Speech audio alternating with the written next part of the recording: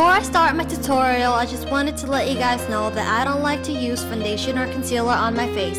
If you watched my previous video, you should know that I mostly focus on eye makeup. So let's start the tutorial, shall we? I start off priming my eye with a MAC paint pot in Painterly. And now I'm just filling in my brow with an unknown name eyebrow pencil.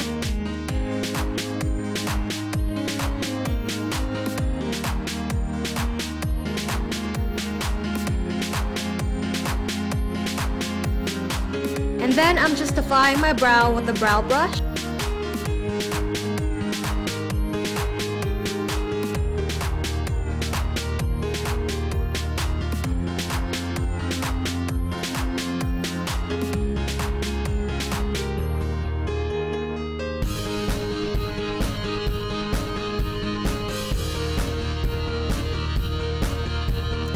Next, I am using a matte white color from my Sephora palette to highlight my brow bone with an eyeshadow brush.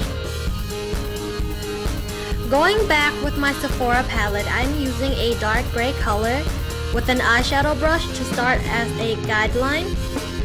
So this is probably the hardest part of all, which is making a guideline. But, um, you know, just be careful and go slowly on this part.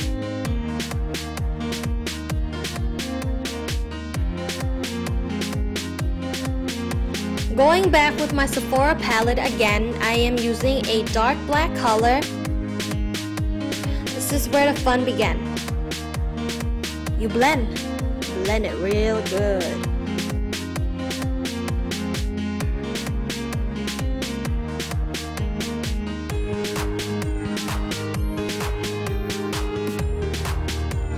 Now I am using a color called Creep from my Urban Decay Naked palette to make this look more intense, I decided to add more black to the matte black to make it even more intense.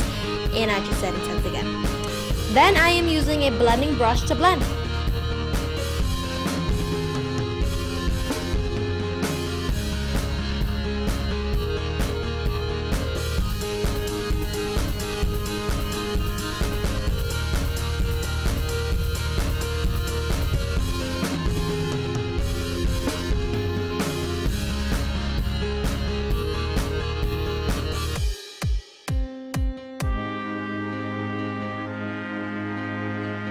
Now going back with the matte white applied on your waterline.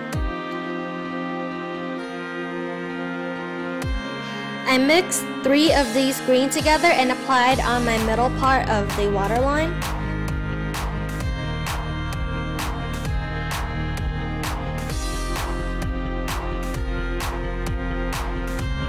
Then I mixed two of these blue together and applied on my tear duct and on the corner of my waterline and don't go over the green eyeshadow. Then I use my penultimate eyeliner in Rapid Black or Rapid Black to make a cat eye.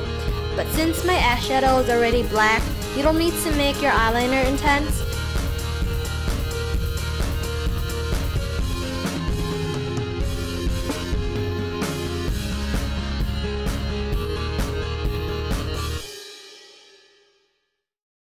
Now put on some falsie and I also skip using a mascara because my real lash are quite short and it's very sad.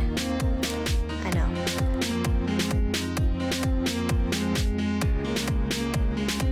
Then I use a bronzy color and use it on my cheek